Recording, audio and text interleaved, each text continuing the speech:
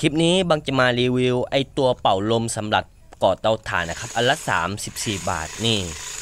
ลมมันก็จะแรงประมาณนี้เลยนะครับนี่อาจจะสู้โบเวอร์ไฟฟ้าไม่ได้แต่ว่ามันโคตรแรงเลยครับดูนะครับ เพื่อไม่ให้เป็นการเสียเวลาเดี๋ยวบางจะทำการก่อไฟเลยนะครับนี่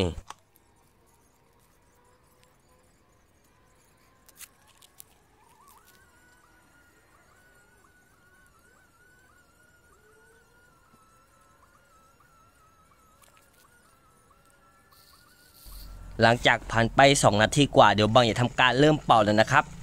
และนี่ก็จะเป็นการเป่าแบบเบาๆก่อนนะครับ เพื่อให้ดูประสิทธิภาพของมันครับอ่าเดี๋ยวให้เห็นชัดๆเดี๋ยวบางขอปรับมุมกล้องนิดนึงนะครับนี่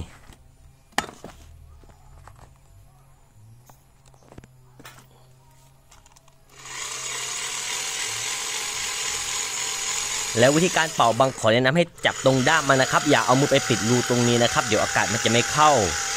อันนี้นะครับเป่าไปแป๊บเดียวก็เริ่มแดงเลยนะครับ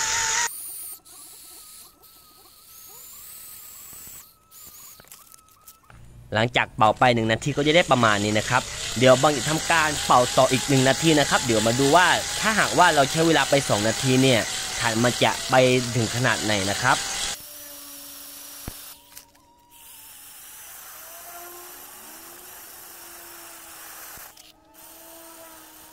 ผ่านไป 2 นาทีไฟมันก็จะแรงประมาณนี้เลยนะครับ อันนี้คือการเป่าแบบต่อเนื่องนะครับนี่ถ้าหากว่า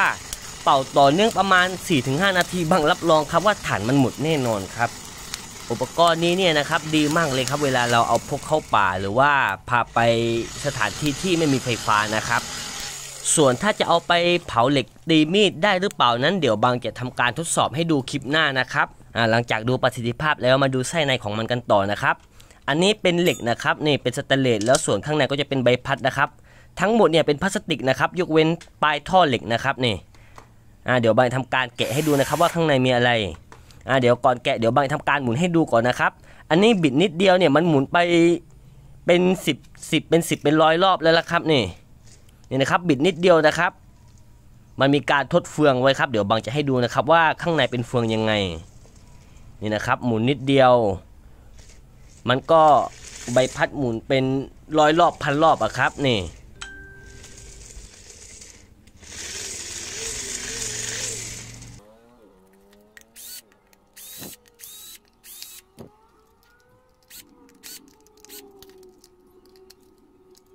อ่าแล้วมาเปิดออกมาแล้วก็จะเห็นเป็นลักษณะนี้นะครับ มีเฟืองอยู่ 4 ตัวนะครับ นี่ คือเอาไว้ทดแรงอะครับ ทดรอบนี่นะครับ หมุนนิดเดียว แต่ว่าใบพัดสามารถหมุนได้ตั้งหลายตลบนะครับนี่สำหรับใครที่คิดจะ DIY หรือว่าไปเอาไปปิ้น 3D บางคนแนะนำให้ไปซื้อในช h อ p e e ดีกว่านะครับง่ายกว่าแล้วก็ได้มาตรฐานกว่าด้วย